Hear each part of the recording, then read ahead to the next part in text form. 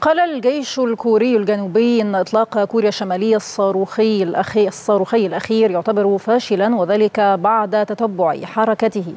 كانت أيضا بيونغ يانغ قد أعلنت فشل المحاولة الثانية لإطلاق ما تقول إنه قمر صناعي للاستطلاع العسكري مؤكدة العزم على إجراء المحاولة الثالثة في أكتوبر المقبل.